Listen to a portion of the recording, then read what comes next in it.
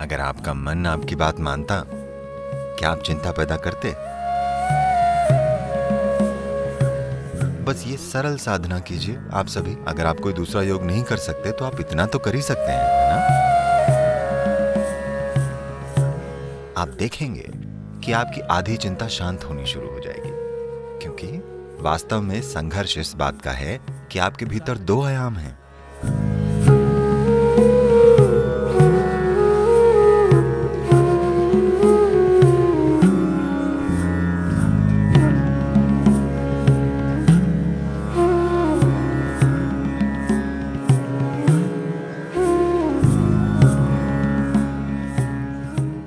आपका मन आपकी बात मानता? क्या आप चिंता पैदा करते? नहीं। इसलिए जवाबों के लिए कहीं और मत देखिए, कहीं भी दूसरी जगह। बात बस इतनी सी है कि आपका अपना शरीर और मानसिक ढांचा आपकी बात नहीं मान रहे। तो आपने बहुत सी बातें कही मैंने कोशिश की और ये पूरी कैलिफ़ोर्निया में जो बड़े बड़े शब्द घूम रहे हैं, खासतौर पर उसे सरेंडर करने के बारे में, इसे जाने देने के बारे में ऐसी किसी चीज़ ने एक भी व्यक्ति के लिए काम नहीं किया है कभी भी। क्या इसने किया है मैं आपसे पूछता हूँ। आपको चिंता है उसे जाने देने की कोशिश कीजिए। क्या ये चली जाती है? यहाँ तक कि फ्लू भी कम वक्त फ्लू तक नहीं जाता। हाँ या ना? साधारण सी सर्दी भी नहीं जाती। आप कहते हैं जाओ क्या ये चली जाती है? इसलिए हमें समर्पण के इन सजावटी चक्करों में नहीं पड़ना चाहिए, ये सब इधर उधर की बातें हैं। कोई नहीं जानता कि समर्पण क्या है। क्योंकि जब ऐसा होगा तो आपको पता ही नहीं चलेगा कि ऐसा हुआ है। आप ऐसा नहीं कर सकते। मैंने समर्पण कर दिया। ये कैसे संभव है? तो उन चीज़ों को छोड़कर खास तौर पर, जैसा मैंने कहा है, आपने यूज़र मैनुअल को नहीं पढ़ा है। कि ये कैसे काम करता है। हमें इस पर ध्यान देना होगा। ये सिस्टम इस तरह से बना है कि अगर आप अपना हाथ ऐसे रखें तो ये एक तरीके से काम करेगा। अगर आप ऐसे करें तो ये दूसरी तरीके से काम करेगा। ये एक अद्भुत प्रक्रिया है। अगर ये कोई सरल चीज़ होती तो हम इसे छेनी हथौड़ी से कूट पीट कर सही आकार में ले आते, ठीक है? ये बहुत सादा परिष्कृत है। ये मशीन असाधारण रूप से जटिल है। ये जिस चीज़ के लिए बनी है, उसे उस तरह इस्तेमाल करने के लिए व्यक्ति को एक निश्चित तरह का ध्यान देने की ज़रूरत है, वरना यह खुद को अस्त व्यस्त कर लेगी। अब कई कारक हो सकते हैं, जेनेटिक कारक हो सकते हैं, सामाजिक कारक हो सकते हैं, कुछ पालन पोषण के मुद्दे हो सकते हैं, तमाम तरह की चीज़ें हैं। पर अपनी समस्याओं के लिए इनमें से किसी भी चीज़ को कारण मत ठहराइए। ज़रूरी बात बस ये है आप अपने मन को वैसे नहीं रख पा रहे हैं जिस तरह से आप उसे चाहते हैं। आपकी बस यही समस्या है है ना? जिस पल आप कारण देते हैं कि मैं ऐसा इसलिए हूँ क्योंकि मेरे पिता ऐसे थे मैं ऐसा इसलिए हूँ क्योंकि मेरे दादा की जेनेटिक्स ठीक नहीं थी तो समझिए आप खत्म हैं। क्योंकि अब हम उन व्यक्तियों को बदल नहीं सकते। Yes. अब आप कोई अलग पिता या दादा नहीं चुन सकते। अब वो बीत चुके हैं। पर आप इसे रूपांतरित कर सकते हैं। आपको यह समझना चाहिए, अब भी इससे कोई फ़र्क नहीं पड़ता कि आपको चिंता का विकार है, फिर भी अगर आप एक गाजर का टुकड़ा भीतर डालते हैं तो यहाँ एक ऐसी बुद्धिमत्ता है जो एक गाजर को एक मनुष्य में रूपांतरित कर सकती है। इसका मतलब हर रोज आपके भीतर एक नए शरीर का निर्माण हो रहा है है ना? टुकड़ों में हर रोज एक नए व्यक्ति का निर्माण हो रहा है। जब सृष्टि का स्रोत आपके भीतर काम कर रहा है और लगातार एक नए मनुष्य का निर्माण हो रहा है। अगर आप इसकी थोड़ी सी भी ज़िम्मेदारी ले लें तो आप पूरी तरह से एक नई शारीरिक और मानसिक प्रक्रिया का निर्माण कर सकते हैं। हमारे साथ कुछ ऐसा हुआ। पिछले साल हम लोग तिब्बत में ट्रैकिंग कर रहे थे। मैं एक टेंट में था। मैं कुछ काम कर रहा था और दूसरा एक व्यक्ति एक सेब काट रहा था। आपको इन दिनों मिलने वाले चीनी मिट्टी के चाकुओं का पता है? तो पास में दूसरी महिला उस व्यक्ति से कहती है, ये बहुत तेज चाकू है, ध्यान रखना। ये मुझे थोड़ा परेशान करता है। मैं ऐसे देखता हूँ क्योंकि ये एक बड़ा आदमी है। अगर वो कोई बच्चा होता तो अलग बात थी। तब हमें देखना होता कि वो चाकू कैसे इस्तेमाल कर रहा है। वो एक पूरा बड़ा आदमी है। और चाकू को तेज धार ही होना चाहिए। अगर उसकी धार तेज ना हो तो आप उसे चाकू क्यों कहेंगे? तो मैंने उसे अनदेखा किया और काम करता रहा। अगले दो मिनटों में वो फिर कहती है, ये बहुत तेज चाकू है, ध्यान रखना।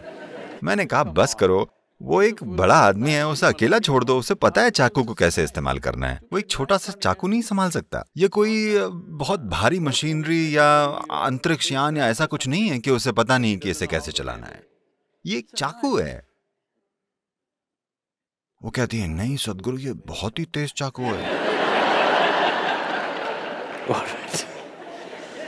और मैं जो कर रहा था, वो करता रहा। अगले दो मिनटों में वो उससे फुसफुसाती है। बहुत ध्यान रखना ये बहुत तेज है। और अगले दो मिनटों में वो अपनी उंगली काट लेता है। उसके बाद मैंने हार मान ठीक। यही सब हो रहा है। जीवन के साथ यही सब हो रहा है। आपके पास एक बुद्धि है जिसके लिए आपके पास कोई पर्याप्त स्थिर आधार नहीं है।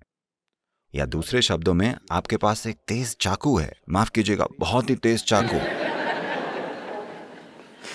A very sharp knife in your hand, but your hand is not steady. आपके हाथ में एक बहुत ही तेज चाकू है पर आपका हाथ स्थिर नहीं है। जरा देखिए ये आपका ही मन है जो सारी पीड़ा पैदा कर रहा है ना? हाँ या नहीं? तो आपके पास है बहुत तेज चाकू है ये जितना धारदार होगा उतना ही आप खुद को काट लेंगे। तो हमें चाकू को कुंद नहीं करना है। हमारे पास बस एक स्थिर हाथ होना चाहिए है ना? इसके बारे में कुछ नहीं किया गया है।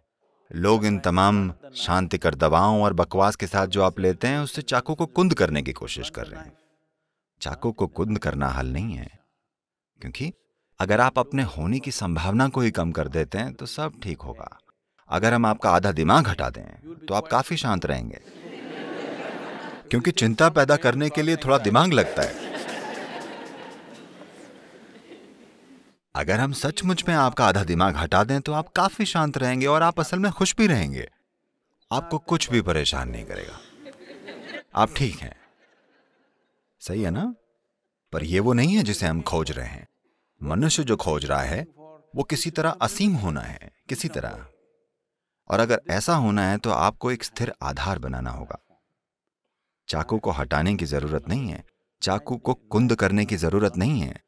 बस हाथ को स्थिर रखने की ज़रूरत है है ना? कोई प्रक्रिया नहीं करनी है।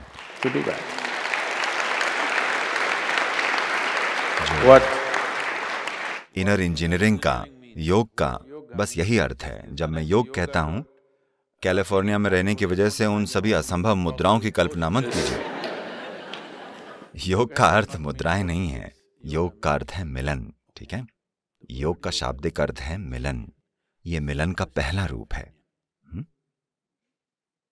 आपका दायां और बायां, इसे योग में पिंगला और ईड़ा कहा जाता है। ये आपके भीतर पौरुष और स्त्रैण है। इन्हें बस एक साथ कर दें। आप बस ये सरल साधना कीजिए। अगर आप दूसरा को योग नहीं कर सकते तो इतना तो कर ही सकते हैं ना? आप ऐसा कीजिए जो आपके जीवन से संबंधित हो। ये चढ़ता हुआ सूरज हो सकता है। सूरज ऊपर आ रहा है। सूरज के ऊपर आए बिना इस ग्रह पर आपका अस्तित्व ही नहीं होता, है ना? आपके भीतर जीवन की गर्माहट सिर्फ़ इसलिए है क्योंकि सूरज ऊपर आता है। पेड़ का ऑक्सीजन छोड़ना और उसके लिए आप कार्बन डाइऑक्साइड छोड़ते हैं और ये अदला बदली हो रही है। इसके बिना आप जीवित नहीं होते, हैं ना? इसकी ओर कुछ इस तरह से देखिए, जो भोजन आप खाते हैं, सूरज, जिस धरती पर आप चलते हैं, जिस हवा में सांस लेते हैं, जो पानी पीते हैं, जो लोग आपके आसपास रहते हैं, इनमें से कुछ भी चुन लीजिए। बस ये कीजिए। आपके दाएँ और बाएँ को पूरी तरह एक साथ कर दीजिए। इस तरह नहीं इस तरह नहीं। बिल्कुल सीधे ठीक है? बस किसी ऐसी चीज़ की ओर देखिए जो आपके लिए सच में मायने रखती है। शायद सूरज शायद आकाश शायद बादल शायद एक पेड़ या कोई व्यक्ति शायद एक बच्चा एक जानवर कोई मायने नहीं रखता कि क्या। बस उसकी ओर देखिए लगातार 10-12 मिनटों तक दोनों हाथों को जोड़े रखिए। आप देखेंगे कि आपकी आधी चिंता शांत होनी शुरू हो जाएगी। क्योंकि वास्तव में संघर्ष ये है कि आपके भीतर दो आयाम हैं। मैं इसके विस्तृत विवरण में नहीं जाना चाहता क्योंकि योग, शरीर विज्ञान इसके बारे में विस्तार से बताता है। लेकिन सरल शब्दों में कहें तो आधुनिक चिकित्सा विज्ञान आपको बता रहा है कि एक दायां दिमाग है और एक बायां दिमाग है, ठीक है?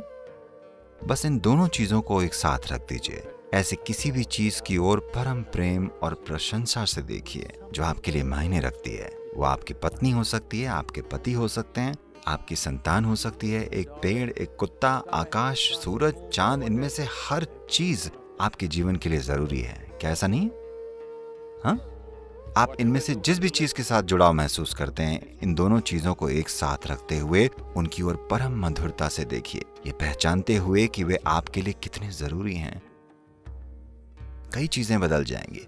ये योग का पहला रूप है। अगर मैं ये करता हूँ तो ये मुश्किल हो जाता है। और नमस्कार करने के कई तरीके हैं। इस तरह इस तरह इस तरह। ये सबसे सरल चीज़ है।